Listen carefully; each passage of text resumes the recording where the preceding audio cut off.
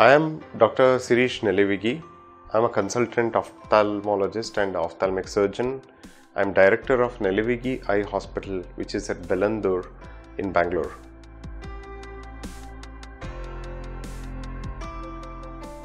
There is a difference between daily wear and uh, extended wear lenses. The basic difference between these two is that the daily wear lenses are designed to be used for one single day. That means you can put on the lenses in the morning and then you can extend keep wearing till it's evening or late night and then take it off and then dispose them. Whereas the extended wear lenses are meant to be used over a period of time and this period of time can extend anything between 7 days to 30 days. That means you can put on the lenses onto your eye, you can stay with the contact lenses, you can sleep with them without having to remove them even for a week or even a fortnight quite a lot of times.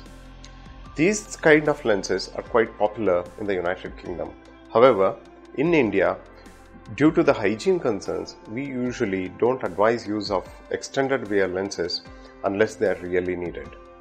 The difference, basic difference in the lenses is that the extended wear lenses have better oxygen permeability as compared to the daily wear contact lenses.